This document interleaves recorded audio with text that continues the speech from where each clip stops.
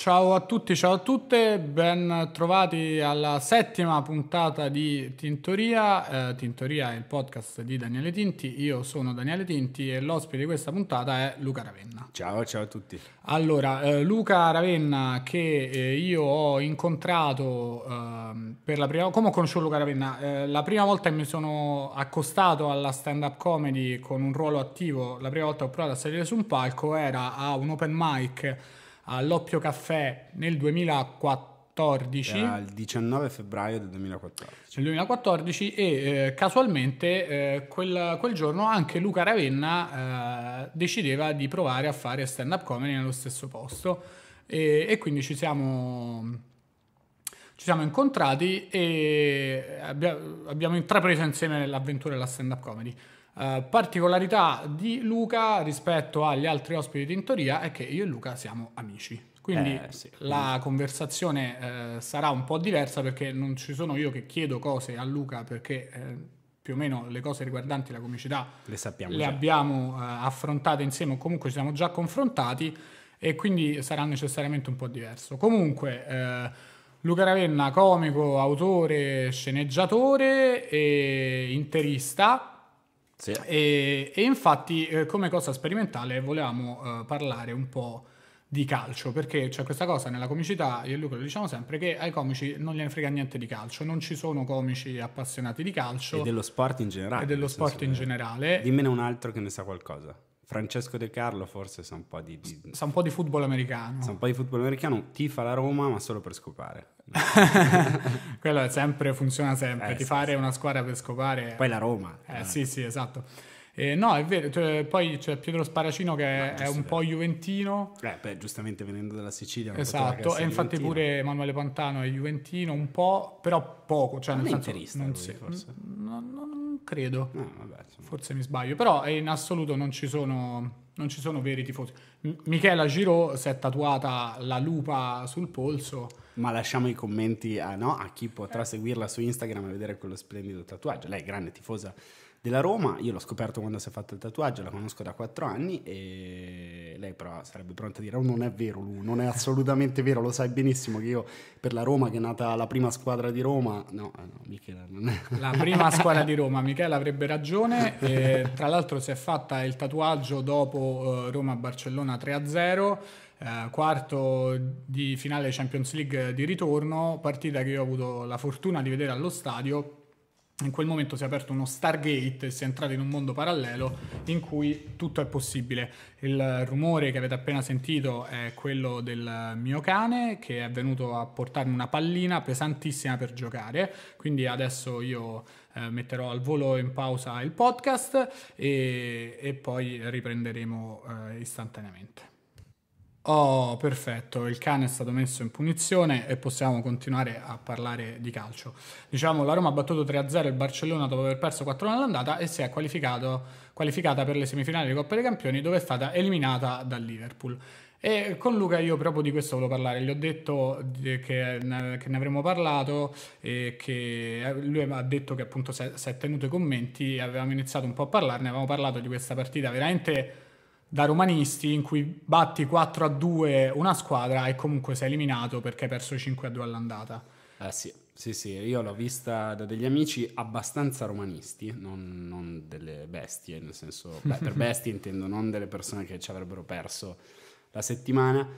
E io vabbè, sono molto tifoso dell'Inter e mi bullo della vittoria e penso che lo farò per tutta la vita, visto che ne abbiamo vinte tre in, nell'arco di 50 anni di Coppa dei Campioni, eh, però l'altra sera sono rimasto molto impressionato dal fatto che ehm, mi sembra che tutta l'energia fosse stata bruciata un po' no, col, col Barcellona. Mm. E, parlando con un mio amico molto milanista che di Coppe ne ha viste 5 e abbiamo la stessa età, mm-hmm. abbiamo 30 anni, lui diceva ma non hanno mai imparato che la scaramanzia nello sport serve e in effetti a ripensarci forse il tuffo nella piscina del presidente per un quarto di finale, capisco il delirio però una puntina Guarda, Secondo me invece per Roma va benissimo così, cioè nel senso questa è una città che talmente tanto si vive la pezza della partita, la pezza della vittoria, la pezza della sconfitta, talmente tutti stanno tal- tanto male che se il presidente è americano e non gliene frega niente, va bene così, tanto poi la gente sta talmente tanto male. Io calcolo che l'approccio che avevo a Roma-Liverpool,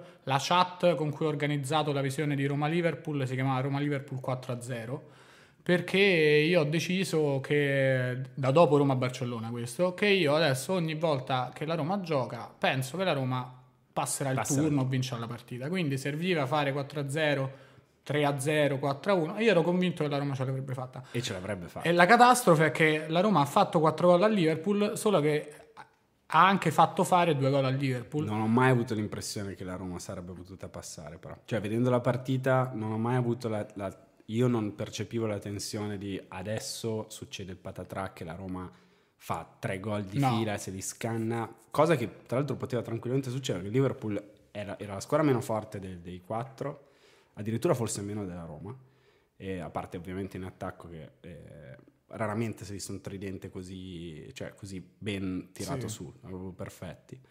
E, e, basta. C'è da dire che dall'altra parte Barcellona Real e Bayern Real giocavano a un ritmo, un'intensità e con una furia che non lo so Liverpool come farà a Kiev a resistere.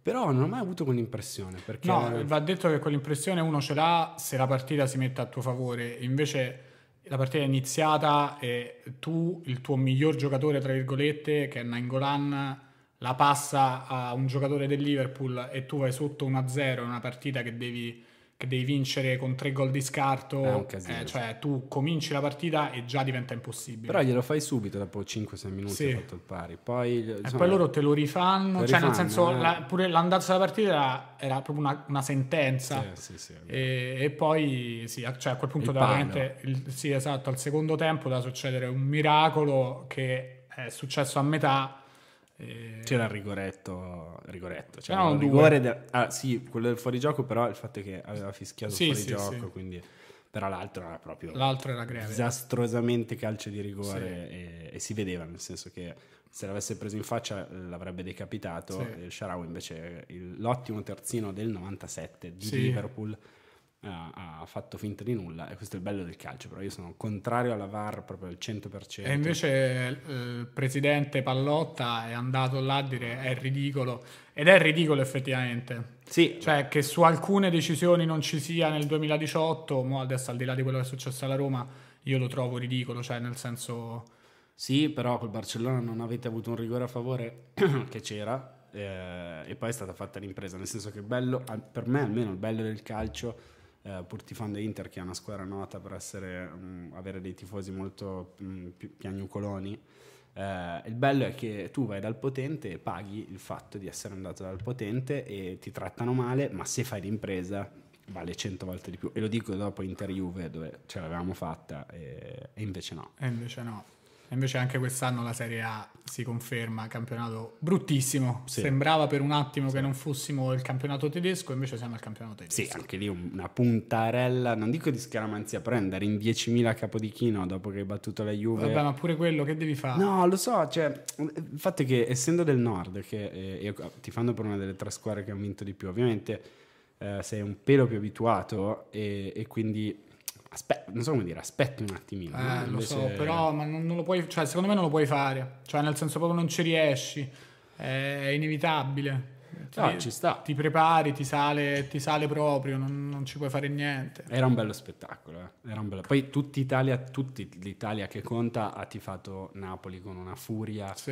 eh, mai vista. E oh, il bello è che io che vivo nel mondo post Roma-Barcellona 3-0, io penso ancora che il Napoli possa vincere lo scudetto. Poi so benissimo che la Juventus vincerà il settimo scudetto di fila. Non c'è nulla che impedirà alla Juve di arrivare al suo settimo scudetto, eh, però... Eh... Eh, sarebbe bello andare a piazza San, in piazza San Carlo a Torino e sentire ma eh, ci avevamo vinto un'altra volta esatto. perché è proprio una cosa brutta cioè io i Juventini che conosco la sera di Inter-Juve cioè una partita beh, anche bella da vedere nel senso poi hai vinto sei scudetti e ti stai giocando molti eh, che conosco erano a cena a fare una passeggiata e, e, allora che cazzo tifi a fare? Nel senso, questo è proprio tipico loro. Sì, sì, sì. E adesso vediamo. L'associazione con l'Essere Calabresi assolutamente l'ho, l'ho, l'ho, fatta io. No, certo, lo stereotipo che molti calabresi sono juventini non è, non è non vero. è mai vero. No, no, no, no assolutamente no. E, no, e invece la Serie A la, la vincerà La Juventus quasi sicuramente. Oh, e invece, secondo te, eh, come la vedi questa corsa Champions dell'Inter? Secondo me, vabbè, finiremo, se tutto va come deve, finiamo a giocarcela con la Lazio all'ultima, eh, perché la Lazio deve inciampare. Quella pippa di Mazzarri, il sosia di Schettino, è riuscito a perdere con la Lazio in casa e è veramente, veramente uno degli allenatori che ho odiato di più nella mia vita. E secondo me ce la giocheremo con la Lazio all'ultima giornata. E io sono stato una volta all'Olimpico a, gio- a vedere una partita con la Lazio all'ultima giornata tanti anni fa e tra l'altro l'anniversario cade domani. Eh. È vero, domani sono 16 anni. Sì, 16 anni fa oggi ero a Orvieto con mio padre e okay, voi, insomma tu hai vissuto adesso tra cose del Barcellona. Per noi che allora non vincevamo lo scudetto da 13 anni, io mi ricordo stavo iniziando il liceo, eh, il 4 maggio del 2002 per me è stato uno dei giorni più, più, più, belli e dei quali se ne parlo ancora un secondo mi commuovo della mia vita. E, e il 5 maggio fino alle 3.20 è stato bello, bellissimo. E poi dopo solo orgoglio, solo orgoglio. E niente più. Però sì ce la giocheremo con la Lazio e vediamo. Perché invece ti dico eh, la, la, un mio amico romanista che non era allo stadio durante Roma-Barcellona quindi vive ancora nell'altro universo quello precedente a quello in cui ci troviamo adesso in cui la, la Roma va tutto male Secondo lui, voi non ve la giocate con la Lazio, ma con la Roma, ma che, con crolla, la Roma che crolla, col Cagliari a Cagliari che si deve salvare. Noi al Santelli abbiamo sempre fatto un sacco di fatica e quindi ci fermiamo. Però non c'è più Conti. La, la, sì, no, però noi pure, eh, cioè, Cagliari difficilissimo si deve salvare e noi ci fermiamo. La Lazio vince, a quel punto eh, vince la penultima.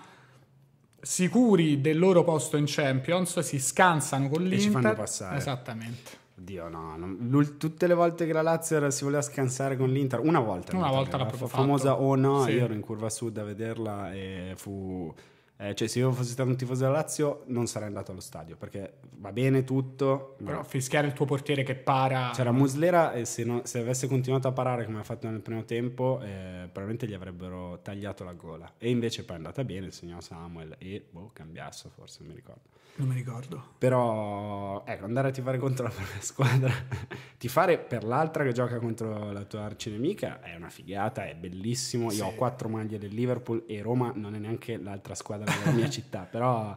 Eh, però no, andare a tifare contro i propri contro la tua, cioè allo stadio per la tua squadra la fischi eh, è, è, tosta però loro ricordano che nel 99 Amendola andò allo stadio non ricordo vedere che partita con la sciarpa del Milan mm-hmm. che si stava giocando lo scudetto con la Lazio quindi no cioè...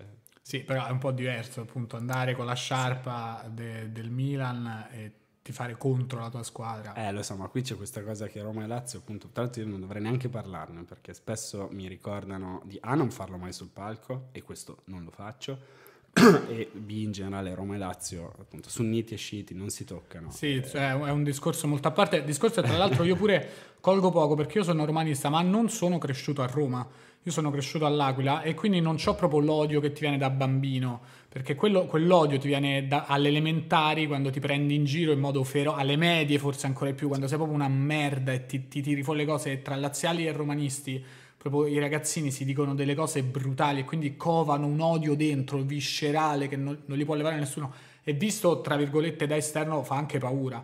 Cioè, vedere come si chiude la vena ai bambini della Lazio quando parlano eh, anche ai miei amici della Lazio quando parlano della Roma e viceversa, però io non vedo la vena chiusa dei, dei romanisti, la vedo solo dei laziali. Vedi solo una vena aperta che, esatto, che dice la verità. Poesia, esatto, esatto. esatto. La voce è la verità romanista contro la menzogna oscurantista biancoceleste e, e per fa paura, e quella è una cosa che maturi da bambino, che è il motivo per cui io cresciuto all'Aquila, odio, odio la Juve. Insomma. No, guarda, io essendo cresciuto a Milano, in anni in cui il Milan era la squadra non più forte di Milano, non d'Italia ma del mondo, eh, e che mi ha rovinato eh, le elementari, le medie e in modo disastroso il liceo fino alla magia di Istanbul del 2005.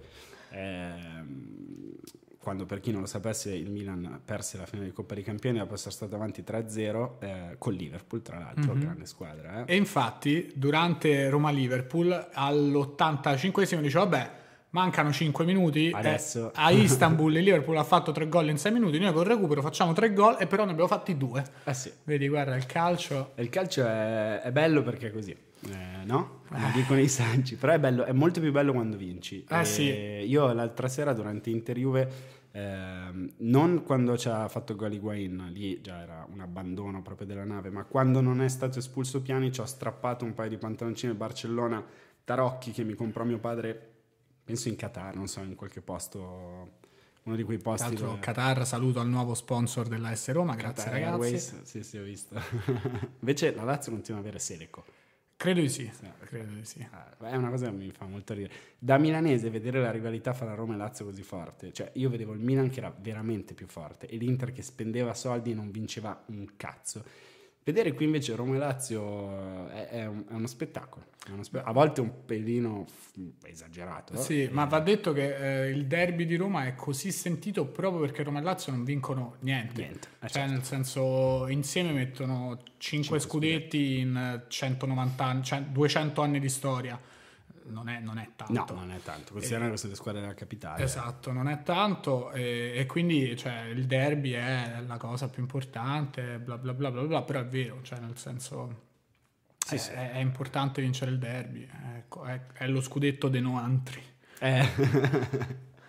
Eh, sì, sì, però eh, invece da noi purtroppo vedevi una squadra che vinceva molti campionati, poi dopo hanno pagato poco, hanno pagato poco per la merda che hanno fatto e no, queste sono cose che nessuno ricorda perché il Milan quando fu... Quando ha vinto la Champions Sì. nel 2007 non doveva farla quella Champions. Non no, doveva certo. farla, è arrivato secondo, fu, vabbè, poi comunque ha vinto la Champions perché erano veramente forti e ci giocava uno dei giocatori per cui ho una perversione malata tutt'oggi, mi rendo conto che è Pippo Inzaghi. Mhm. Eh, Grande allenatore del Venezia a cui auguriamo ogni bene. Ogni bene, a lui, al Venezia e al Parma, che spero torni in Serie A e se ne vadano quelle squadre inutili. Devo dire che lo Tito disse bene, io no, è bella la provincia in Serie A, no, a me fa schifo vedere la Beh, provincia. però lo Tito lo disse con un filo di interesse. Tu non mi puoi. No, mi sa che la, la sua parola era quando era salito il Frosinone. dire- Lui parlava al non mi ricordo chi, dicendo: Tu non mi puoi far salire questi. Io que- che cosa ti vendo alle televisioni? Eh, eh, Questo era come il signor Claudio Lotito aveva posto Era per dire una cosa carina anche sulla Lazio, che però purtroppo adesso al di là del gemellaggio che interessa in realtà solo le curve, perché i tifosi normali non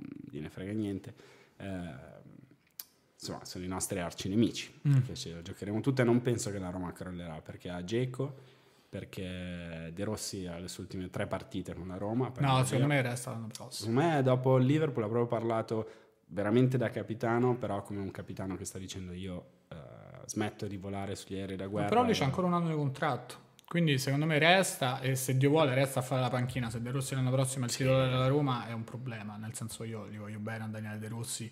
Però un un'età cotto, in dici. cui non ha esattamente il Esatto. motore per tenere il centrocampo. Sai che è il mio giocatore preferito, quindi io De Rossi lo farei giocare fino ai, con la bombola dell'ossigeno, perché è, è l'unico giocatore italiano negli ultimi anni che faceva gli spot della Pepsi con Gerrard, Ronaldinho, Fernando eh, Torres. Fernando Torres quando aveva 16 anni, cioè fino all'altro ieri. Sì. E per me De Rossi è veramente, veramente un grande. L'altra sera ha parlato proprio in modo bello. Sì, sì, sì. eh, ma guarda, sono molto orgoglioso di Daniele De Rossi capitano mi piace, mi piace che eh, la Roma abbia ancora questa tradizione di capitani romani e romanisti. E... Il prossimo chi sarà? Vabbè, a parte Florenzi, ovviamente. Florenzi, certo, è lui. Sì, è Florenzi, il prossimo, a meno che non lo vendiamo, Florenzi è bello limitato, eh. Eh, calcisticamente. Mm. Sì, sì, Sì, sì. cioè, Beh, forte. Florenzi secondo me è un'ottima riserva, cioè Sì. nel senso se ce l'hai come riserva va benissimo, se è il tuo titolare, se devi giocare la Coppa dei Campioni e Florenzi è il tuo titolare, non va bene. No, Non no. va bene, eh, come- Roma- così come Pellegrini, eh, classe 1996, al momento, insomma, Roma-Liverpool si è dimostrato non all'altezza, ripeto, a me mi passa, stanotte mi è passato alle due e mezza di notte davanti agli occhi la punizione di Pellegrini contro il Liverpool, che invito tutti ad andarsi a rivedere, una palla che, non lo so, ha colpito la finestra della signora Maria a Montemario, Eh sì, era veramente una punizione calciata fra amici che la tiro io perché ho preso il fallo. Sì. La tiri dove non, dove- non avresti... Ma Antonucci invece che è arrivato allo stadio con la Ligier... Ah, ma il fatto che la Roma abbia fatto due gol al Liverpool con Antonucci in campo è clamoroso. Tra l'altro che ha fatto un 1-2 e due volte ha tagliato bene. Sì, Poi là, sì, ovviamente, se riusciva a indirizzare verso la porta, crollava l'universo. Invece la stoppata è rimandata indietro, Sì. cioè se ha fatto lo, lo stop raggiunto del Liverpool. Credo che Antonucci abbia 18 anni, cioè Ah, credo sì. che faccia il liceo. Quanto scopa Antonucci? Beh, se non scopa Antonucci. Poi, tra l'altro, lui ha proprio il look da romano. e che però ha un tatuaggio che lascia intendere che potrebbe... cioè ha il capello da pariolino, però un tatuaggio intendere che potrebbe essere di sinistra, cioè che si rifà a una certa boragine di sinistra, quindi comunque io nel dubbio ci volo. Beh, probabilmente gli actual saprebbero cosa fare con Antonucci. Sì, certo. No? È l'unione perfetta della un saluto, un saluto a, agli amici, agli amici Actual, sì, Actual con cui ho avuto anche il piacere di, di collaborare. Ah, già, vero, vero, sì, sì, abbiamo, Infatti sono veramente tuoi amici. Abbiamo presentato insieme una serata e condividiamo la stessa agenzia. Ah, la stessa che, prestigiosa agenzia. Prestigiosa che è eh, la... So, so se Pistori. Ah, pensavo Cohen and Levy. No, no, no, niente. Credo che in Italia. Stavi per dire niente ebrei. Niente, no, no, niente ebrei. No, credo che in Italia eh, lo, lo, lo stereotipo americano non ci sia. Non, non si Sono tanti. Per ora, perché sì. poi insomma eh, l'intrattenimento è in costante evoluzione, quindi chissà che, chissà che cosa ci aspetta. Oh, eh, detto questo, si è parlato di calcio. Si è parlato, se ne potrebbe parlare. Se ne potrebbe parlare per ore. Questo è il bello, il bello di calcio. questo straordinario paese che è l'Italia, che si può parlare per 100 ore di una cosa su cui noi abbiamo zero controllo. Sì. Cioè proprio zero controllo. Noi assistiamo a uno spettacolo e ne parliamo per infinite ore. Assistiamo a delle persone che giocano. Però quante volte per me che non sono romano mi sono trovato in situazioni in cui improvvisamente potevo parlare con qualcuno perché capivano che mm, mm, ero molto appassionato di calcio, cioè dici, ah, ok, eh, ammazza però comunque grazie dell'Inter, però, cioè, e boh, inizia non, non, un'amicizia, però un dialogo, mm-hmm. ed è un passepartout, almeno per gli uomini, molto, molto comodo. Mm-hmm. Senso, e... Però non si può scherzare sul calcio, non sul palco, molto molto molto... È difficile, cioè se vai in una città a, a, prendere in giro una cosa, c'è il video straordinario, però quello è diverso, di Bill Burr a Filadelfia che sale sul palco quando tutto il pubblico stava urlando contro il comico prima di lui, proprio ah vaffanculo fai schifo, e lui sale sul palco e insulta tutto il tempo Filadelfia, gli abitanti di Filadelfia, tutte le squadre di Filadelfia, e vin- cioè, è così che si rivince il pubblico, insultandoli per 15 minuti capolavoro. Vabbè, storia della, della sì, comicità. Storia della comicità, sì, storia della comicità 11 minuti di insulti. di insulti. e la gente ride e lo applaude. Addirittura a un certo punto insulta Rocky, il personaggio sì. di finzione, dicendo: Voi avevate un pugile di Filadelfia vero sì. e avete dovuto inventare questa stronzata di Rocky. Sì.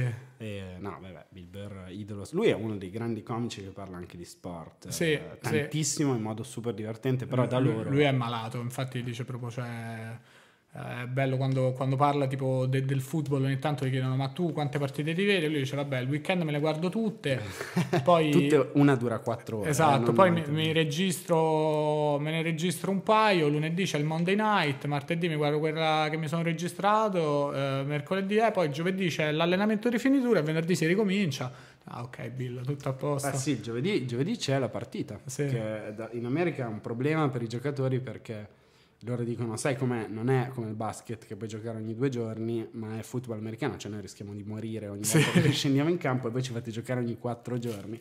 Però business is business. Eh quindi... sì, gli americani non gliene frega niente. Dice sì, vi facciamo giocare ogni quattro giorni perché poi a fine mese arrivano 980 mila dollari. Esatto. E fate, in effetti. In effetti, dice vabbè la faccio per dieci anni e poi smetto e divento pittore. E invece esatto. all'improvviso, invece dopo due anni ti disintegri eh, tre vertebre e il contratto non è garantito, non ti danno più soldi e tu diventi stupido, eh, che non hai studiato e non sai fare niente se non colpire delle persone e ti sei speso tutti i soldi perché sei un ventenne che viene dal zone, ghetto sì. de, di Detroit e quindi non hai esattamente anche una cultura economica giustamente non sai gestire mezzo milione di dollari se, se, non, se nessuno nella tua vita ha mai avuto neanche 5.000 dollari eh, ti sei speso tutti i soldi. Però spesso gli amici di questi ragazzi gli dicono: Ma no, ma guarda, cioè, cerca di investire, non apri un mutuo. Dai. Guarda, no, no, ma non mi pagare la cena. Guarda che con la Toyota Prius c'è un bellissimo documentario di ESPN che si chiama Broke, che si trova su YouTube, che consiglio a tutti di vedere, che è molto bello per l'appunto degli atleti americani che vanno in bancarotta.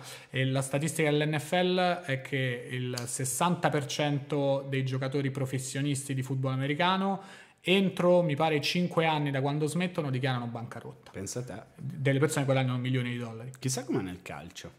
Secondo me nel calcio di meno. No, di meno. Nel calcio di meno perché uno i contratti sono garantiti. Cioè, mm. nel senso, se io ti faccio 4 anni di contratto e tu ti rompi, io ti, com- devo, pagare. ti devo pagare tutto il contratto. Mentre nell'NFL c'è questa cosa proprio brutale americana, se tu ti rompi è finita. Cioè, tu ti rompi a metà stagione, io smetto di, io smetto di pagarti per sempre. Sì, a meno che tu non sia turbo, mega, iper, super. Sì, no, certo, sono quelle 10 persone sì. nella lega, però poi il football americano invece sono un botto di gente perché una squadra 55 sono, eh, a squadra, quindi sono tante persone e quello che guadagna di meno guadagna relativamente poco. Cioè sì, cioè senso... milioni di dollari, un milione, ma pure di meno, minimo, una milione, cioè tipo un milione di dollari per morire, per rischiare sì, di sì, morire. Sì, per rischiare cioè, di morire. No, non per toccare la palla con i piedi. No, no, no, lì veramente ti fai male, ti fai proprio male. E, e comunque è un bel documentario e, e andrebbe visto. Però ecco, diciamo, parlando invece di stand-up comedy, Luca Ravenna il 15 eh, maggio uh, porta il suo spettacolo In the Ghetto a Roma all'Alcazar. All'Alcazar. Alcazar. All'Alcazar. Questa splendida mm, questo ex cinema che è stato riadattato, molto bello, tra l'altro ci fanno molti film, mm-hmm. molto bello, sono tornato a vederlo ieri, l'ultima volta, nonché la prima, che ci sono andato ero andato a fare un pezzo di stand up per una festa di un'agenzia pubblicitaria e ehm, ho subito quella che eh, può tranquillamente essere definita una molestia sessuale sul palco da un, da un spiritosissimo, eh, come si dice, uno che lavorava nell'agenzia che eh, mentre stavo con fatica cercando di portare a termine i miei 15 minuti perché a loro non gliene fregava un cazzo di ascoltare, come è giusto che sia alle feste di Natale, tu Daniele me lo insegni. Certo. E a un certo punto ho detto no vabbè no, devo troppo fare sta cosa. Io pensavo ma insomma volevo fare una battuta, gli ho dato il microfono e lui mi ha afferrato il pacco come se fosse stato Benigni e io eh, Pippo Baudo. E a quel punto ho lasciato giù il microfono, ho urlato Me Too e me ne sono andato con un sacco di soldi. Quindi Però poi ho conosciuto, la, ieri ho parlato con la ragazza che organizza lì e mi ha detto che quel tipo è stato cacciato ah. eh, dalla festa perché era troppo su di giri, come si suol dire. Ah, su di giri. Su di giri, sì, su sì. Di C'erano giri. dei nasi, io vedevo al buio, c'erano dei nasi che stavano, sembrava un numero di stomp quello che fanno con gli zippo, cioè tutti scintillanti. Giustamente era sotto Natale, quindi tutti questi a Rudolf. Diceva, era arrivata alla tredicesima, esatto. giusto, giusto. Beh, ma le feste aziendali spesso sono caratterizzate da persone su di giri. Sono molto difficili per noi. Noi ci sì. è capitato di farne anche una insieme. Ne abbiamo fatto una insieme in un ristorante di un albergo, di un albergo è stato bellissimo. Sì. Non si sentiva quello che dicevamo perché c'era una piccola cassa alle nostre spalle per una sala con 120 persone, una sala lunga 30 metri. Sì eh, non, è, non, è, stato bellissimo. No, però noi ci siamo esibiti mentre mangiavano, cioè tra il primo e il secondo. Esatto. Il momento in cui gli italiani, proprio più di tutti, vogliono sentire altro è quando mangiano. L'unico momento in cui gli italiani sono concentrati su quello che fanno. Oh, è arrivato il brasato di manzo, allora due battute, ma che cazzo vuoi? Sto commentando il brasato, coglione. È stato brutale, però queste cose si fanno come andare nel Vietnam. Cioè tu non sai perché il tuo paese sia andato in guerra con un paese di di persone che fa gli spaghetti di soia mm-hmm. e mhm. altre cose che non so del Vietnam, lo fai. Vai, muori sul campo, con tutto rispetto, eh, e muori sul campo e porti a casa i soldi. E porti a casa i soldi. E va benissimo così e poi dopo ci fai un pezzo sopra che è probabilmente è così che aprirò all'Alcazar, cioè parlando di quando sono stato eh, molestato, che è la parola giusta sì, sì, per definire. Sì. Se, ti aggra- se, ti afferra nel pacco è una molestia. non e... è colpa mia se non ho la figa, nel senso. però comunque è stata no, no, una cosa... Mole- molestia senza alcun dubbio.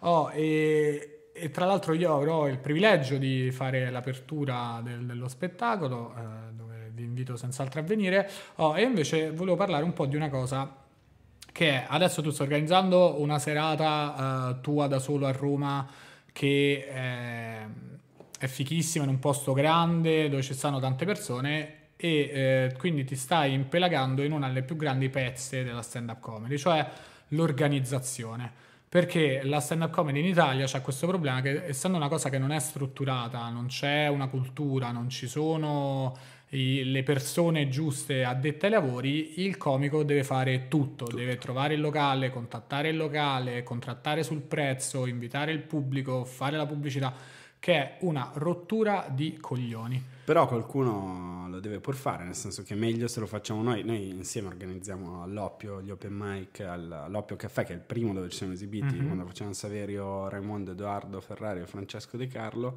E, eh, ma meglio se lo facciamo noi, nel senso che... mm, No, sì, certo, perché servirebbe gente che lo sa fare. e Infatti, Ce n'è pochi, Shout out tu, Mattia, Mattia Curmà, miglior promoter, organizzatore e promoter d'Italia, che organizza eh, una rassegna a Padova. E... Vabbè, Giulio e Jacopo a Giulio Milano, Jacopo a Milano. Però forse ecco Curmà eh, si porta a casa il trofeo Sì, del più ma- bravo a organizzare perché, perché sì, perché ha messo su da solo questa cosa e perché è sempre, è sempre tutto molto figo, il pubblico è figo, il locale è figo, paga bene, e si sbatte per far venire le persone, le persone vengono. eh, veramente inattaccabile. Servirebbero più persone come Mattia Curmà. Facciamo un appello ai giovani e le giovani italiani, eh, fate, cioè, ci sono soldi nella stand-up comedy potenzialmente se voi sape- saprete lavorare. Sì, sì, sì. Beh, ma lui perché a parte dal fatto che è appassionato, gli Mhm. piace molto, la- lavora in un'agenzia che organizza un'agenzia pubblica, mi pare, Sì, e, e- ah, em- lui fa sì che il comico sia messo nella miglior condizione possibile. Anche se eh, è a un livello che non, non porta mille persone ancora, No, lui certo. non gliene frega un cazzo, cioè lui ti mette nella migliore, e lo dice sempre, eh, a me interessa mettervi nella miglior condizione possibile. Poi, se tu fai ridere, e insomma, noi- stato- per me è bellissimo andare a Padova, per tutti noi è bello andare lì, bene, benissimo, tornerai e tutto, e la gente, con- cioè è fatto per la, la gioia, la gioia delle persone e la tua. Spesso invece capita che ci siano, ma come è normale che sia, nel senso con tutte le cose nuove, no? Un po' di persone o improvvisate o, o che, mm, non, lo so, non, non- non- pensano che noi andiamo lì e spariamo delle minchiate che ci vuole, dai, ti do... sì, 50 esatto, euro. esatto. E invece non è così, però sì, noi organizziamo, facciamo, è una, è una rottura di coglioni che non, cioè, grossa. Beh, Penso- perché toglie tempo a fare il comico. Sì, cioè, sì, nel sì. senso, quella è una cosa che in teoria dovrebbe fare, non so, in- eh, poi, l'ultima ospite del podcast era Carla Poll, che lo fa in Inghilterra, e lei dice il bello dell'Inghilterra è che è già tutto talmente strutturato che io devo solo presentarmi al locale e fare stand up. Cioè, io devo solo pensare a scrivere il pezzo, arrivo, fanno ciao Carla, tu come sai fai 10 minuti da qua a qua, perfetto, lei si presenta, fa i suoi 10 minuti e se ne va. Fine. Ma è giusto, cioè in America anche agli open mic eh, i comici pagano per i minuti che vogliono fare. Vuoi fare Mhm. 10 minuti, paghi 15 dollari, poi ovviamente nelle grandi città. Ehm, ma sicuramente anche nelle piccole città, posto il fatto che le piccole città in America eh, non saprei dire tre nomi. Ma- però ehm, ci sta, ci sta. Cioè, lo fai, è uno sbattimento, ti toglie molto tempo e moltissima energia nervosa. Eh, ovviamente a Milano è più facile farlo per una questione... A Milano è più facile fare le cose, Sì. cioè è più facile organizzare le cose a Milano, è una cosa che abbiamo riscontrato nella stand-up comedy, obiettivamente è più facile. Penso che sì, dal punto di vista del lavoro è talmente competitiva come città che nel momento in cui uno propone, l'altro dice dai va bene, lo facciamo subito, dai, eh", e lo fanno. E Mhm. poi ovviamente se funziona bene, se non funziona sono cazzi amari. No, certo, certo. A Roma è un po' più ostico. Se Motivo? vediamo, certo, allora ti faccio sapere. Te cos'è che fai, scusa?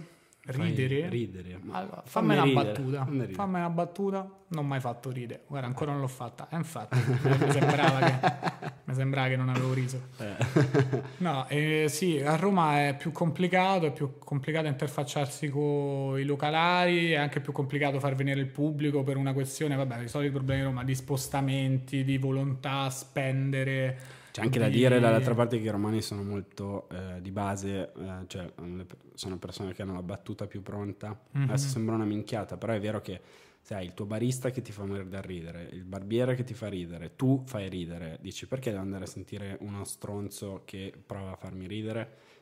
Eh, eh, per, per il gusto della sfida.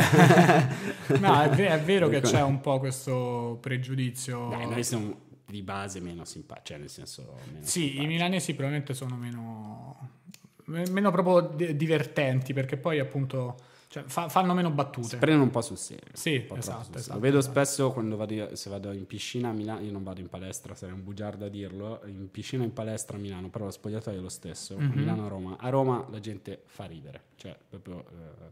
eh, me lo faceva notare Edoardo Ferrari, diceva eh, che, che a Roma è vero, la gente si piglia in giro e a Milano invece senti discorsi, guarda ho dovuto prendere il 4002 perché sai cazzo comunque dovevo pagarci di tasse E dici, l'amico adesso farà una battuta e dirà, ma scusa, ma prenditi la macchina a 6.000, cosa te ne... No, invece diceva, hai fatto bene, hai fatto 1.200, avrai fatto uguale. L'altro questa è l'imitazione di Giuseppe Pagliano, il mio socio, con cui organizziamo il Milano Comedy Club.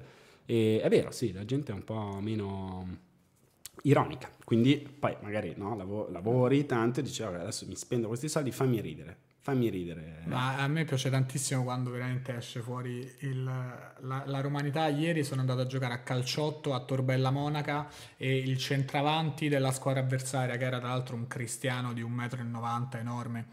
E a un certo punto il portiere sta facendo tutti i rinvii e lui faceva tipo oh morbida morbida morbida a un certo punto il portiere gliela tira sul tacco e fa e che non è morbida questa è una mousse E io stavo nella squadra avversaria e ridevo che questi stavano giocando a calcio e pensai di dire questa è una mousse. fa, fa, cioè, mi fa, mi fa, proprio ridere.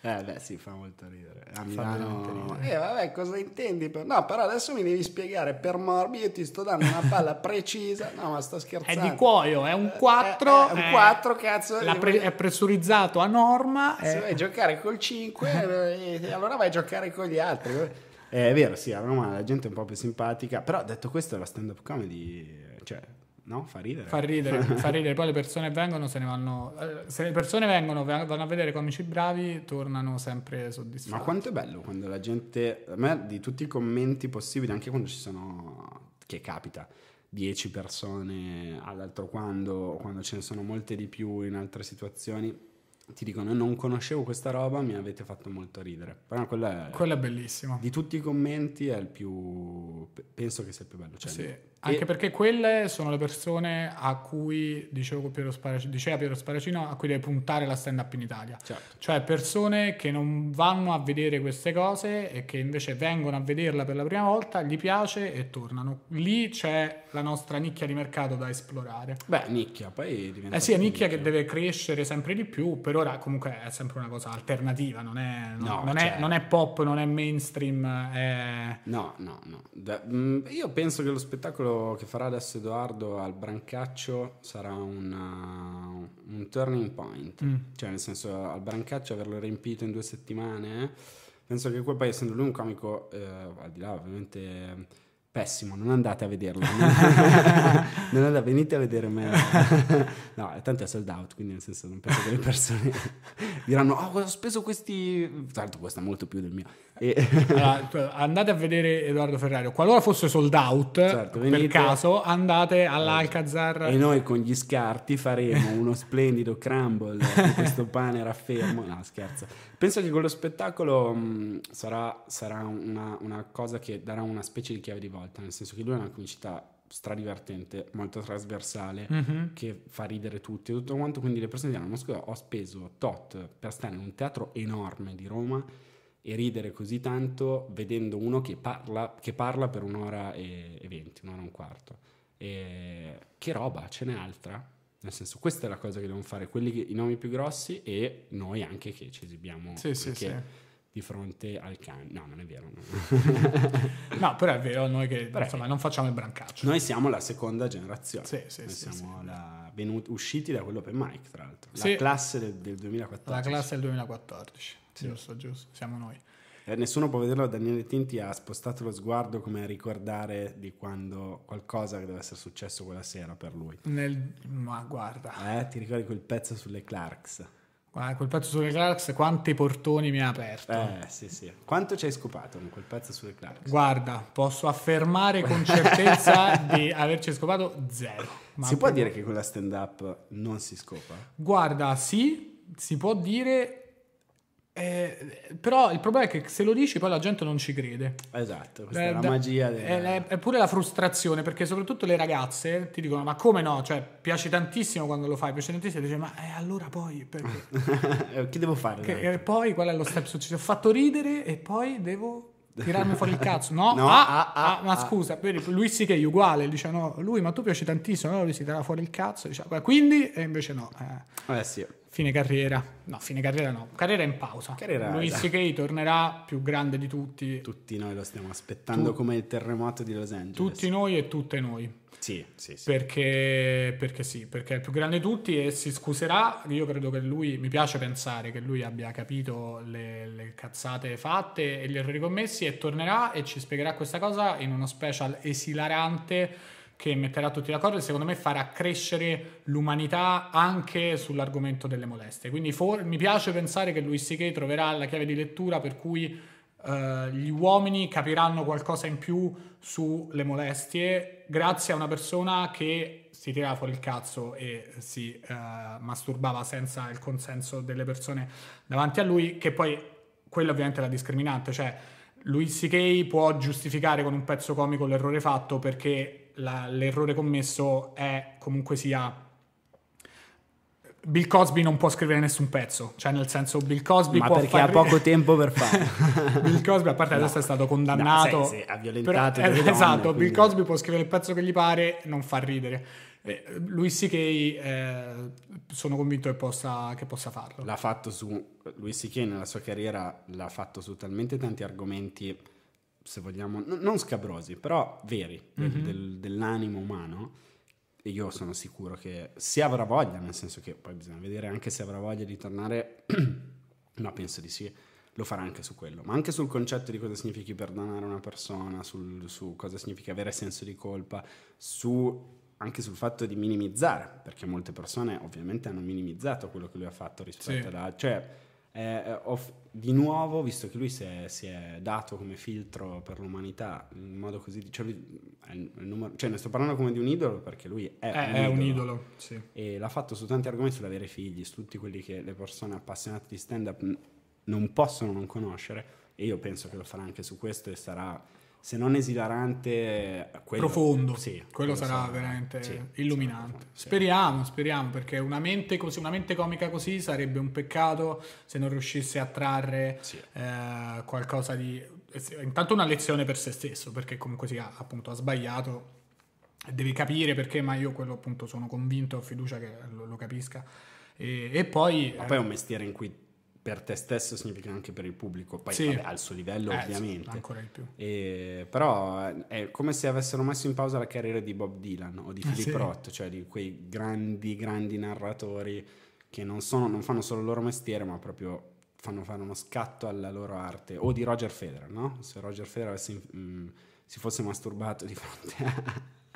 a, non lo so, a Serena Williams, a parte che Serena Williams gli avrebbe sfondato il cranio con un Sì, pugno. sì, esatto. Però, eh, no, quegli artisti o sportivi che cambiano le cose, di una, la spostano di una tacca. Mhm. E, e lui adesso è in pausa, ma, ma- ma io penso veramente che tornerà Sì, una palla di sì. cannone. E che ci facciano anche vedere il film che gli è stato bloccato nelle Si sale. diceva che sui vari torrent si, si, Si poteva trova? trovare, però gli hanno- veramente lì quello è stato proprio... Cioè, c'è stato quel momento a cavallo fra il dice- 2017 e il 2018 in cui veramente sembrava che i comici fossero le persone È incredibile che poi più solo, solo i comici, c'è stato un momento in cui sono uscite solo storie sui comici, che sono degli sfi- poi appunto Sì. normalmente sono gli sfigati, cioè nel senso si, si è comici anche per quello, Beh, si certo, diventa certo. comici anche perché si, si- si è degli sfigati in un sacco di cose. C'era il batterista dei Motley Crue o, o dei, dei Guns N' Roses che dice ma io sono abbacinato da questi, Cosa? questi modi. Louis mancherebbe." C.K. si è tirato fuori il pisello senza permesso sul turbas dei Kiss noi mai, Noi mai, mai, cioè, mai partite gru- di- abuso di potere nei confronti di una gruppi Nei mai, gruppi. Minorenne poi, ma mai, mancherebbe. mai. Partite di backgammon. E invece ci siamo dovuti leggere i Beh. cazzi di Ansari. Poraccia. Eh, però appunto Luis C.K. che invece ha sbagliato e non vediamo l'ora che torni e ci dica come ha sbagliato, perché ha sbagliato, dove si sbaglia e ci faccia ridere e ci faccia capire a tutti l'inghippo, l'errore in cui si cade. Che secondo me quello, quello, sarà molto interessante. Sì, quando parlerà di potere... Cioè, eh, sarà, quella, è... quella, è la cosa che gli uomini non capiscono, cioè nel senso che appunto dice, vabbè, se è solo tirato fuori il cazzo davanti a una persona e invece è la parte del, del potere che hai esercitato per farlo e per imporre il suo tirarsi fuori il cazzo alla persona davanti, è lì l- proprio l'ingranaggio che a noi non, non, è cioè, più difficile capirlo. Sì, perché io ci ho scritto c'è un pezzo che poi farò anche, quindi penso sia il miglior pezzo che abbia scritto sicuramente quest'anno su questa cosa che noi, ci, noi, noi, realmente da uomini ci tramandiamo questa cosa per cui veramente pensiamo che vabbè ma cioè, ho tirato fuori il cazzo cioè nel senso scopa sc- cioè, esatto cioè tra i bastoni c'era l'asso di bastoni è briscola preso cioè, cioè, è mio ho preso e, e invece scopri che no che non, non no, scopri. No, certo. Ovvio no. che lo sai che sì, non sì, puoi... Sì. Non pot- vabbè, adesso senza entrare nei, nei particolari, però nel momento in cui hai il potere di pensare di farlo perché l'ammirazione di qualcuno per, per quello che tu fai... Ehm, non so, non vorrei chiedere a tante persone che eh, si trovano in luoghi di potere se, hanno, si sono mai, se sono mai abusando, sì, abusando sì. eh, del potere, poi quello sì, più sì. di sesso. Eh. Quella è la cosa, sì, più di masturbarsi a un'altra persona che più che altro appunto è una cosa da sfigato, Sì, però esattamente. E speriamo che Luis C.K. ci venga a far mostrare una via divertente e che ci faccia capire più cose. Penso proprio di sì. E so, oh, Luca Ravenna, oltre che a, come dicevo prima, fare il comico, fa anche l'autore e et lo uh, sceneggiatore. E credo abbia cominciato con il noto collettivo romano dei The Pills, Yes. che salutiamo. Ciao ragazzi, in bocca al lupo per tutto. Ato Sport Seramis. Esattamente. I giardinetti. Los Tres Mosquetieres. Ehm, e eh, ha scritto una volta da solista, oramai oh, non, non so quanto Tre tempo anni fa, fa, sì. tre anni fa, una uh, web serie che secondo me è fichissima e forse the most underrated product uh, degli ultimi anni che si chiama Non c'è problema, una serie uscita che veniva pubblicata sul- sulla Repubblica Sì. e mh, prodotta da Catleia, Da Catleia, da sì. Che, che è fighissima, non- credo sia, sia ancora sul Sì, sito, sì, online, andatevela sì, a vedere perché è veramente molto bella, si chiama Non c'è problema. E lì si è imbattuto in un altro problema de- de- dei lavori creativi, cioè è uscita Non c'è problema, molto bella. E tutti gli abbiamo detto mazza bella, sta cosa che bravo, è girata bene, molto figa. E poi che è successo? Ah, ma eh, ci sono state diverse, diverse questioni, nel senso che eh, è stato un lavoro che mi fu proposto da Catleia, eh, che aveva la possibilità di lavorare insieme a Repubblica.it, che penso sia il sito numero uno d'Italia, credo. E, e praticamente abbiamo realizzato questa serie cui aveva come cornice me che parlo dal terapeuta e gli racconto le mie paure, che era un po' una scusa poi per fare degli sketch.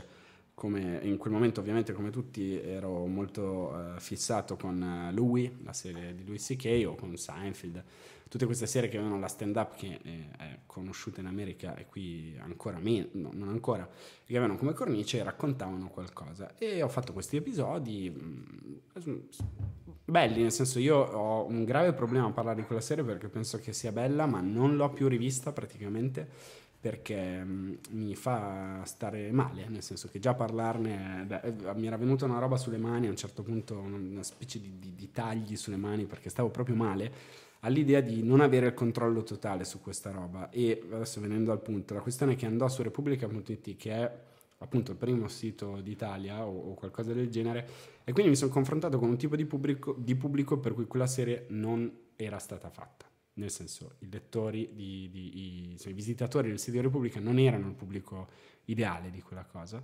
E, mm, e io ne ho, ne, ho, ne abbiamo stra- strapagato le conseguenze, nel senso che mm, ogni episodio creava dei problemi su Twitter, su... insomma, mm, è stato molto poco comico, nel senso che non ho mai neanche poi parlato veramente, perché è brutto quando tu fai una cosa e dici ma eh, fa, ridere, cioè nel senso pe- pensi che faccia ridere, perché nessuno può pensare di avere sempre ragione, di far sempre ridere, vedi che le persone intorno a te ridono, sono contente e poi scopri che in realtà non, non è per tutti, ma il principio è molto semplice per dirla in due parole. È come se avessi fatto uno show che doveva andare alle 23 su Rai 3 e l'ho mandato alle 2 di pomeriggio. Su Rai 1 Mhm. e questo non si fa perché le persone che guardano la TV a quell'ora sono diverse dalle persone che la guarderebbero a un'altra ora su un'altra rete con un altro piglio. eh.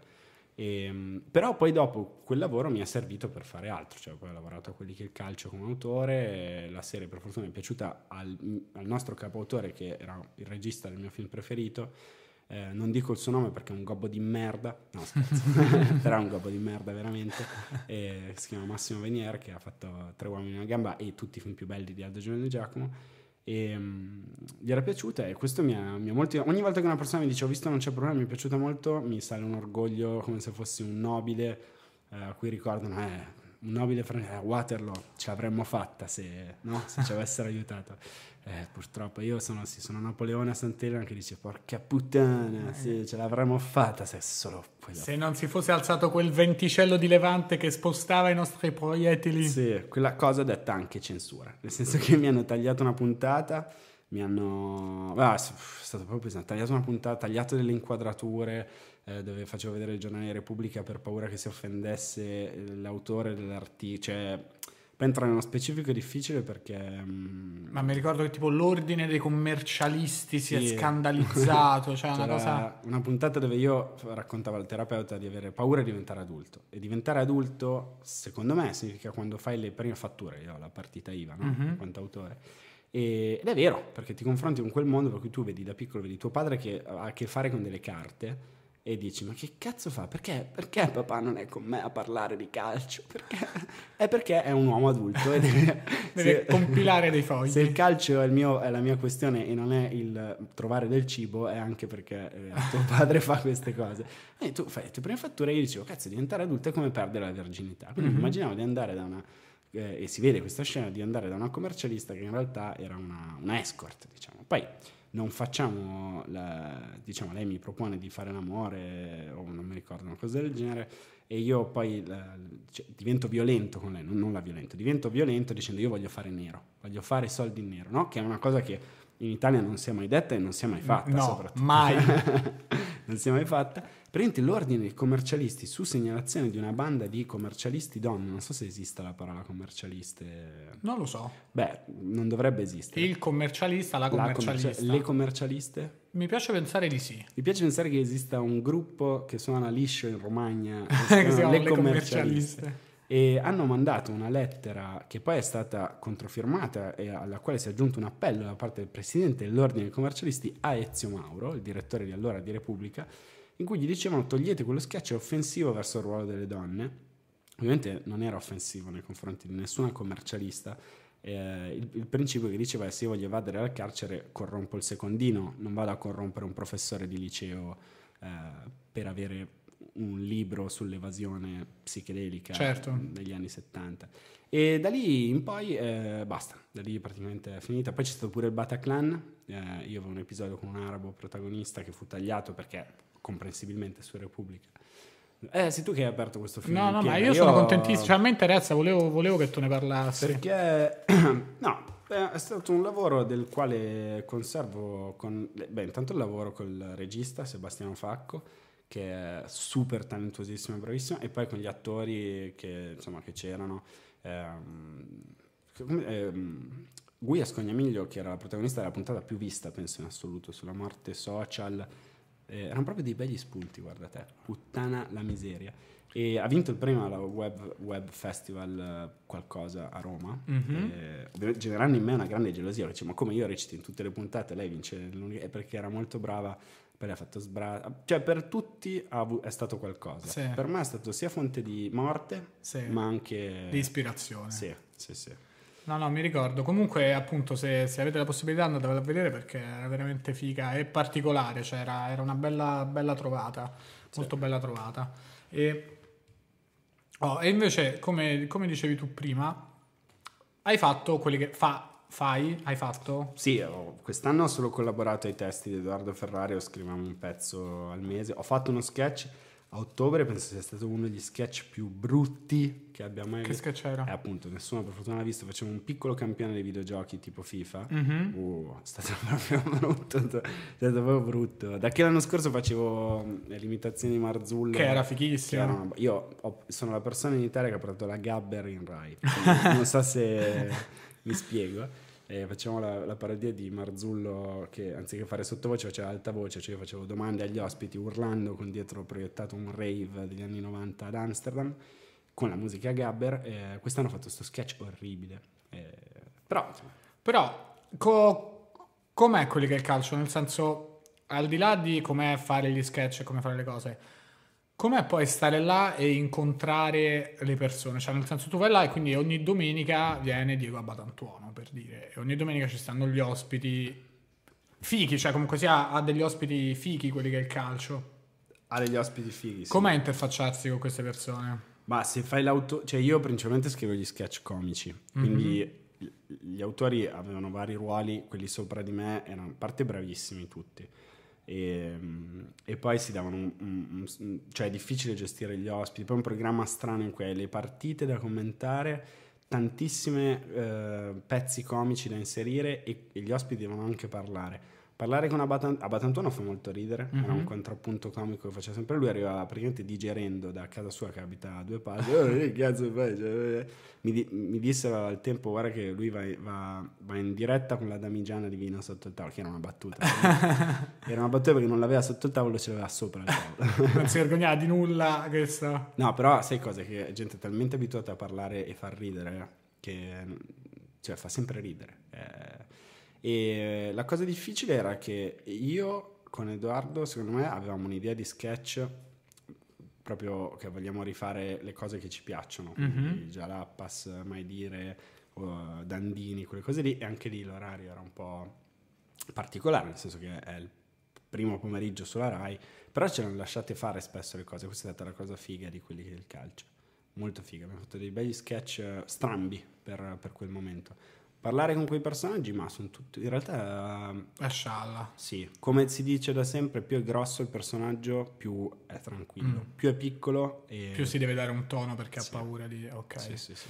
Ok, senti, invece ho un'ultima pezza di cui voglio parlare. Io questo podcast mi sono reso conto che il privilegio che ho io di parlare con delle persone che, che mi interessano è che poi si manifesta con me che gli chiedo le pezze de- de- del lavoro. Ehm, Beh, fanno più ridere rispetto a... Parlami dei tuoi successi. eh, no? sì, dimmi le cose che ti vanno bene. Eh, tu eh, scrivevi eh, con eh, i The Pills. Sì. E hai scritto il film di The Pills. Ora, io ho avuto sul podcast Matthew Corradine, Matteo Corradini, e abbiamo un po' parlato del film. Cosa ha detto? E- Che non ho sentito fino a lì. Diceva tutto bene, peccato per Luca Ravenna, de merda, lo odio, vaffanculo. No, diceva che è stato. Cioè, è stata figa come esperienza e che eh, c'è stato un errore di percezione del film, nel senso che il film di The Pills, se tu eh, sei di Cuneo e sei un padre di famiglia di Cuneo, non te lo vai a vedere. La tua famiglia non la porta a vedere il film The Pills e quindi è inevitabile che il film The Pills vada male rispetto agli standard nazionali. Boh. Che è una teoria, appunto, volevo sapere. No, non sono d'accordo. Mm. Nel senso che in quel momento i Pills erano the next big thing della comicità e io ho imparato un botto lavorando con loro. eh, spero, penso anche di avergli dato una mano. Eh, però, vabbè, magari il padre di famiglia di Cuneo, però non è neanche per lui quel film. Ah, no, infatti, infatti, credo che il, il punto fosse quello. non lo sarebbe stato in assoluto, non puoi aspettarti una- un incasso come se avessi fatto il ciclone, quello ovvio, per dire un film dell'altro ieri. Sì. però, però no, c'è da dire che The Pills, dal nome, si chiama The Pills, erano piccoli sketch, il passo più lungo forse sono va- vari motivi e poi que- quello che è nello spogliatoio secondo me è giusto che rimanga nello No, certo, sì, non volevo No, chiedere no, no, tirare certo, fuori, però ehm, era, era difficile, cioè tu sei bravo a fare i 200 metri, fai la maratona, è tutto un altro, un altro mondo, sport. un altro sport. Aveva sicuramente un sacco di spunti belli, era complicato. Perché è difficile fare il cinema, cioè nel senso passare da sketch, io mi ricordo che quel- quello ne trassi dal podcast con Matteo quando abbiamo parlato del film è che cioè è difficile passare da sketch, cioè riportare al cinema una cosa che è, è fatta per sketch su YouTube è proprio Sì. difficile. Beh, se pensi a appunto eh, un trio di comici che dopo anni di carriera in tv e a teatro, sto parlando di Aldo Giovanni Mhm. e Giacomo, che non c'entrano niente con i Pills, però per fare un esempio, che per vent'anni quasi hanno fatto gli stessi numeri, variandoli, poi hanno fatto i corti, eh, vanno al cinema e rifanno i loro grandi numeri, cioè con degli sketch brevi anche, con una storia semplice di loro che devono andare in Puglia a riportare sta gamba, il matrimonio, si sono ripresentati. Cioè, se una persona non avesse saputo niente di Giovanni Giacomo, vedendo il film avrebbe capi- cap- scoperto eh, tutto su di loro. L'unico errore, o forse il più grosso secondo me, nel film è stato quello un po' presi dalla, dalla figata che c'era intorno a loro di non aver ripresentato tutto. Mhm. È una cosa che bisogna sempre ricordarsi di fare, cioè stai entrando in un altro luogo, stai entrando in un'altra stanza e quindi dici buonasera, siamo questi qua, buonasera, noi facciamo questo e quest'altro, non è che entri e tutti già lo sanno, perché erano in un'altra stanza e non ti hanno sentito parlare prima. Mhm. E questo è secondo me... No, certo, certo. Però, eh, come dicevo pure a Matteo, poi eh, l'importante è eh, non, fa- non cascare nella pezza eh, del fatto che la gente dice ah il film è andato male e godersi il fatto che invece uno ha fatto un film al cinema. Detto questo, fare un film è sempre difficile, sempre difficile anche, eh, cioè, mh, giudic- non giudicare il lavoro degli altri, però quando vedi un film che non ti piace, di dire fa schifo, fa cagare, una merda, bisogna sempre pensare, "Mm", soprattutto se sei del mestiere, dire "Mm, avrei saputo fare di meglio. Cioè a me quel film mi ha molto insegnato poi a stare un po' più calmo nei, nei giudizi delle opere eh, audiovisive in Mhm. generale. Ehm, perché non è semplice come sembra. Beh, è giusto che il pubblico non lo sappia, la gente deve guardare le cose che tu gliele offerte. C'è da dire anche questo, che The Pills era gratis su YouTube, dici ma scusa mi arriva gratis perché devo vederlo pagando? E, però ha avuto anche tanti fan eh, zoccolo duro che sono andati, l'hanno visto, è stato... beh, in quel momento Roma era una figata incredibile fra The Pills, eh, esami, la musica a partire poco prima dai cani, bla bla bla. E adesso è rimasta la trap.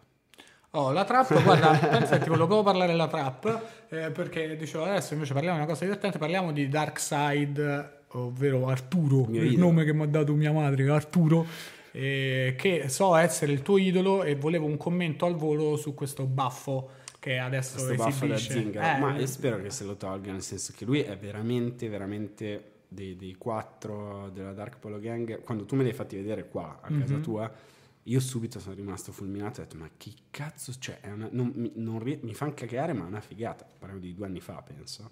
Sì, C'era Cavallini, era il pezzo, Sì. un milione di visualizzazioni. forse 2015. Forse ecco, tre. Fine 2015. Sì, sì, sì, sì, sì. E, e lui è veramente, lui è, un- è proprio figo, cioè è, mm, quell'heroin chic di anni 90, Kate Moss, quella roba lì. Il problema è che mi sa che lo chic lo sta togliendo e sta Sta rimanendo aumentando. l'heroin. esatto. Però io ogni sera mi guardo le sue stories sperando che stia un po' meglio. E Perché invece sta sempre un po' peggio. sta eh. sempre un po' peggio, ma lui mi, mi piace, cioè mi- è, figo, è un giovanotto figo che gli altri eh, non, non mi stuzzicano, Mm. gli altri tre... Non ti dicono molto. No, poi vabbè, il vero genio, quello che proprio seguo e che mi sembra che penso che farà una carriera della Madonna è ovviamente Sick Luke. Vabbè, sì, Beh, lui è certo. lui è- Sì, Kluk poi figlio d'arte comunque sia, sì, sì, però... Anche se mi fa mol- sentire molto vecchio parlarne in questo modo, eh, io quello per cui sto sbroccando è ovviamente il King, in questo Quentin 40, Sì, perché, boh, non so, cioè come tutti gli artisti, percepisci che ha qualcosa da... sì, no? beh, sta cosa che si è inventato di troncare tutte le parole così Ah, gli ritornano figo. gli accenti e risolve l'annoso problema della metrica nel rap in italiano. Sì, che solo i napoletani possono risolvere, Sì, esatto, perché- esatto. o gli inglesi che non parlano italiano. Esatto, i francesi che ce l'hanno tutti Esatto. sull'ultima e quindi eh, invece in Italia si poteva fare solo a Napoli, infatti il flow napoletano nel rap è fighissimo e lui troncando tutte le parole si inventa questo slang.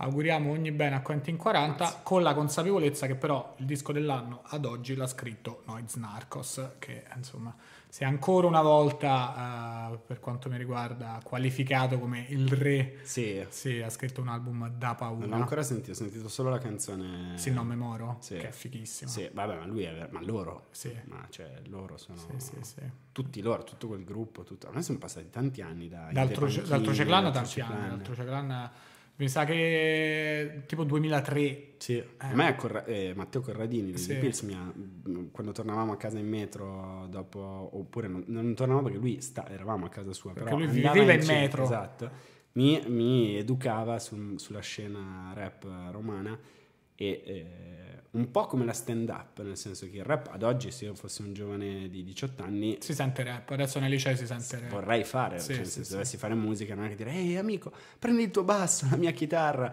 e facciamo mio cugino, facciamo. Ma oddio, l'indie, però l'indie. L'indie rock, le chitarre, cioè adesso gli, gli strokes, strokes, non li fa più esatto. nessuno e fai rap. E un po' la stand up nella comicità è la stand up fare monologhi è la versione simile cioè non ho bisogno della chitarra cioè vestirmi da pupazzo non che suona la chitarra sia vestirsi da pupazzo eh, no? è chiara questa cosa che sto dicendo.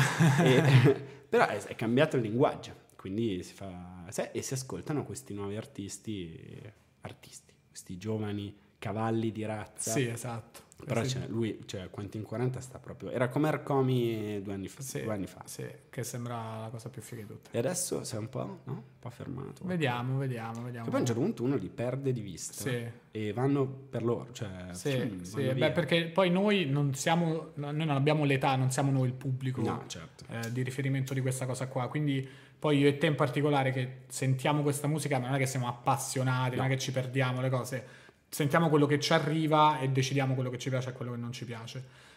E nel momento in cui uno di questi artisti esce dall'hype e quindi smette di arrivarti, non te lo vai a ricercare. No, no, cioè, mentre Noiz Narcos esce l'album e io vado a, vedere, a sentire l'album di Noiz Narcos, se uno di questi artisti qua non, non, non, mi arriva nella mia bubble, io è difficile che me lo vada Vabbè, a cercare. Tipo, ti ricordi quando mi dicevi a me piace molto Tedua? Mm-hmm. E io adesso poi, cioè, tutti gli ultimi, l'ultimo album non, non, ho sentito niente. Ah, è figo. Eh, però quando, quando, me ne avevi parlato, dicevo, ma chi è sto tipo matto che balla così? Sì.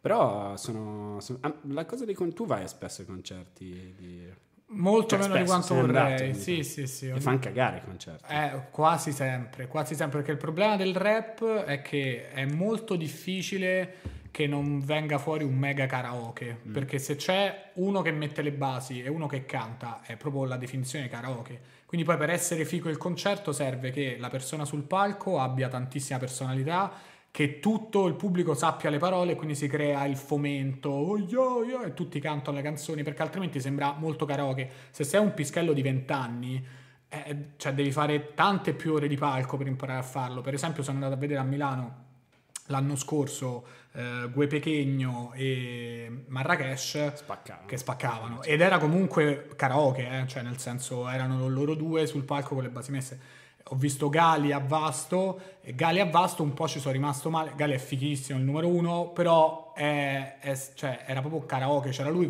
super stiloso che cantava però eh, sembrava una cosa un po', un po per famiglie e, che è il motivo per cui per esempio uh, Carlo e Franco, Carlo Breve e Franco 126 spaccano perché loro hanno la band, sì. cioè hanno i fiati, la chitarra, la batteria, il basso, quindi fi- vedi proprio una performance musicale e quindi è figo. Sì, è io figo. Non, cioè, quando l'ho sentita la prima volta mi hanno colpito, poi dopo perché è fighissima l'immagine, il dipinto di Roma. Sì, loro beh, hanno proprio fatto una cosa loro, cioè sì. che comunque li senti e dici questi sono loro. Però, la, però, poi dopo alla quarta canzone dici, ah, aspetta, ma la, la, seconda è già, cioè, non è sempre la stessa traccia che sta andando da 25 minuti. Io sull'album non ce l'ho tanto, sulle canzoni uscite dopo un po' sì, cioè Quella nel senso argentario, argentario, un po' dicevo vabbè ho capito. Eh. Però adesso escono gli album da solisti, cioè non so se pure quelli di Franco... Ah, sono separati? Non so se, non credo si siano, cioè stanno ancora insieme, però escono anche progetti solisti Adesso esce Notti Brave, o forse dovrei dire Notti Brave, non so come si pronuncia, credo Notti Brave è il disco da solista di, eh, di Carl Brave e vedremo, vedremo, come sarà. In attesa che esca oh, l'album di Calcutta che di nuovo dovrà cambiare le regole, il paradigma di come si fa musica in Italia Sì. e, e non vediamo l'ora. E poi c'è il concerto di Liberato a Napoli. Ah, il 9 maggio. Quella sarà una figata. Quello sarà fighissimo, io non penso che andrò con tutto il bene, non, non mi, non mi imbarco fino a Napoli per vederlo, anche perché io liberato, scherzando, ho già visto due volte, dos volte. La prima volta c'è stata Calcutta sul palco, che era il Miami dell'anno scorso, che era, vediamo liberato, sale Calcutta, io poi c'è volo, grande eh. e però c'era Calcutta, c'era Izzy, c'era Priestess, c'era DJ Shablo che faceva i pezzi liberato. La seconda volta era il Club to Club, dove c'era liberato incappucciato con altri due tizi incappucciati, che comunque non è stato male. Per essere il primo concerto in assoluto, era il Club to Club di Torino, c'erano, non so, 10.000 persone, è stato figo. Penso che a Napoli sarà un delirio, Eh sì. sarà bellissimo. Poi sarebbe stato perfetto col Napoli campione d'Italia. Madonna. Purtroppo, ma tu sai liberato, io ci pensavo l'altro giorno, sai liberato quanti soldi ha perso, perde perché il Napoli non vince lo scudetto? Cioè se il Napoli era campione d'Italia, liberato proprio diventa la canzone Eh dell'estate italiana e, e invece no, cioè sarà comunque fichissimo, eh, però proprio pensavo in, in decine di migliaia di euro quanti soldi perde liberato per... eh, la colpa è della Juventus. la colpa, come sempre, la colpa di tutti i mali del mondo, Del mondo, è sì. la Juventus. Sì, sì, sì, senza alcun dubbio. Sì, sì, sì. Beh, eh, sì, però penso che quel- cioè, sul concetto di hype Liberato potrebbe scrivere... Beh, sì, bravi, bravi, l'hanno, l'hanno costruito bene. Poi non, non so, non so chi sia. No. Uso il plurale perché comunque sia un progetto, è un progetto co- che coinvolge tante persone, al di là di liberato. Poi, appunto, io sul palco ho visto tre persone incappucciate, poi c'è la gente che fa i video.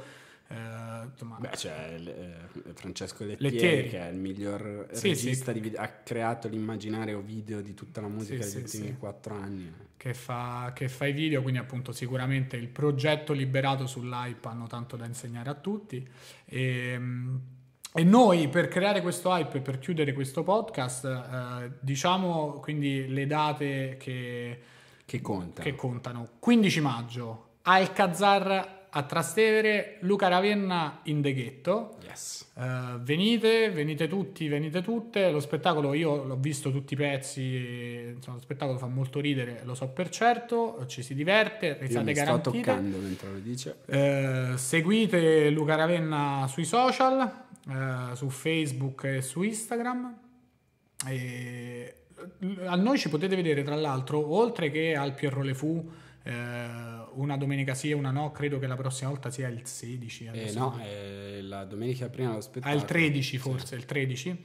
E noi siamo il 27 maggio a Padova. Siamo il 27 maggio a Padova, abbiamo parlato bene prima di Mattia perché ha messo su una serata all'aperto in un posto della Madonna che assolutamente ovviamente non ricordo come si chiami a Padova. No, certo. E, però seratona di stand up siamo io, te, Stefano Rapone, eh, Nicolò, Michela Giro? Michela Giro, Sì. eh, che per allora si sarà tatuata la lupa su tutta la schiena, e Nicolò Falcone, grandissimo comico, grande organizzatore. Che secondo me è stato lui a rosicando prima, ho detto il miglior organizzatore della Mattia Curmà. No, allora, voi dovevate Nicola parlare- Falcone ha rosicato. Ascolta, non avete parlato della Vogaria Venezia? La Bulgaria Venezia è l'unico teatro. Io ti porto in barca. Il comico viene da me lo porto in barca. Curmà dove lo porta?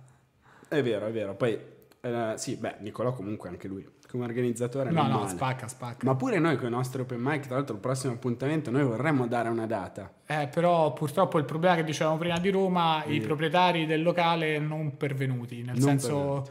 5 WhatsApp e 2 telefonate e ancora nessuna risposta. Aspettiamo fiduciosi, volevamo fare una data lotto, ma Poi è giusto che non rispondano perché è una serata eh, che- dove viene un sacco di gente. eh, Sì, esatto, la, la gente si diverte, la gente si eh, diverte. paga, il pubblico paga, eh, gli, gli organizziamo tutto noi, eh, il, il fonico lo paghiamo noi, quindi eh, certo, per carità, perché dovrebbero Perché, fare? perché fare del bene quando puoi continuare a non a fare del male? Dici tu fare del male, cioè se Walter White A non scelto fare niente, fare a non rispondere al telefono. Esatto. non rispondere al telefono. Per cui la serata dell'otto sicuramente è zompata. E vediamo se ne riusciamo a fare almeno un'altra a maggio e speriamo bene.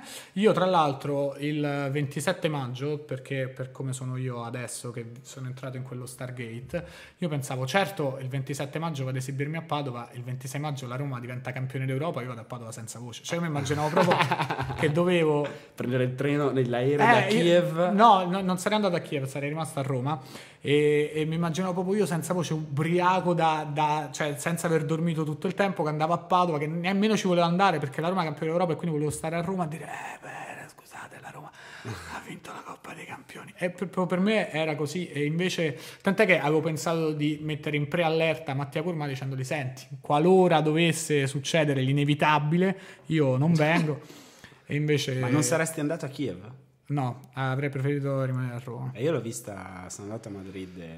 Ma è fatto bene. La squadra aveva bisogno di me, cioè il mio sentimento. Eh, lo so, era... lo so, però secondo me eh, nel bene e nel male, sì, a Roma sarebbe stare a Roma durante cioè le ore successive a una vittoria di qualcosa, perché poi non, vivevo all'Aquila e avevo dieci anni quando la Roma ha vinto lo scudetto. E secondo me stare a Roma nelle ore successive è un'esperienza unica eh, che è bello fare. Ma scusami se te lo chiedo, tanto ormai è finita, ma Roma, Real Madrid, sì. finale di Coppa dei Campioni a Kiev il 26 maggio. Mm-hmm. Inizia la partita alle 20.45. Ti chiedo di dirmi chi secondo te nei tuoi sogni avrebbe segnato e come sarebbe finita. Guarda, questa cosa non me la sono per niente immaginata un miliardo di volte. E... Antonucci di, da fuori, di mezzo esterno, da calcio d'angolo, battute. No, guarda, io l'ho proprio immaginata in un solo modo possibile, cioè eh, Perotti che al dodicesimo minuto si procura un calcio di rigore, eh, nell'unica azione della Roma, così sul fondo, boom boom, dribbling, calcio di rigore che, che, avrebbe, Fallo di Sergio Ramos. che avrebbe segnato lo stesso Perotti. E, e, poi un casino così, una cosa, un'altra, il Real Madrid ti segna nel secondo tempo, ti segna Cristiano Ronaldo e tipo al settantesimo, quindi in realtà pareggiato, catastrofe, gol, gol. Due minuti dopo, Edin Dzeko, boom boom, 2-1, finite, finisce così. 2-1. Sì. sì. 2-1 per la Roma e, e così, così doveva andare nella mia testa. Poi in realtà appunto, ripeto, è una partita che è una finale, quindi può succedere tutto. Se fosse giocata Roma-Real Madrid in finale 10 volte, 9 volte avrebbe vinto il Real Madrid. E tu devi giocarti la finale sperando che sia, cioè dando Quella tutto, volta. sperando che sia la volta che tocca a te.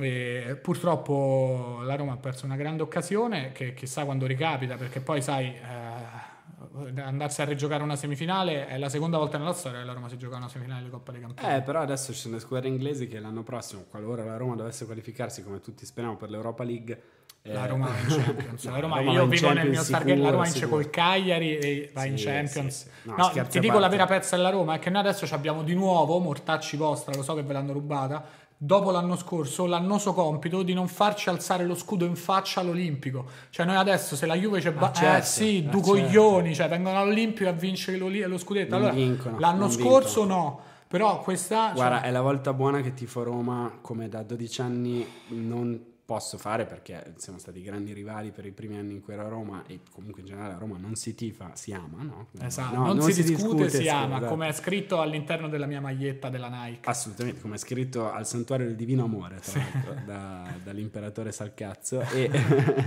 tra l'altro, vabbè, e, ehm, è la volta buona che, che, che, finalmente tifo De Rossi come avrei voluto fare. Perché io sogno, ho sempre sognato di avere un giocatore di Milano all'Inter, il mio idolo Nicola Berti era di Sasso Maggiore Terme e, e, e l'ultimo è stato Bergomi, che era milanese e si è ritirato nel 99 grazie a Marcello Lippi, altro uomo di merda, guarda caso, grande allenatore della Juventus Football Club e quindi forza, ecco, quella sera lì di brutto col cuore, forza Roma e basta. No, sì, sì, veramente forza Roma, forza Roma, Juve merda e, e forse su questa, su questa nota straordinaria. Chiuderei. Di speranza. Il, sì, chiuderei questa puntata di Tintoria. Grazie mille a Luca Ravenna. Grazie a te. E grazie mille a tutti, grazie mille a tutte. Ci vediamo il 15 maggio al, al Kazar. Se no a Padova. Giusto. Ciao ciao. Ciao.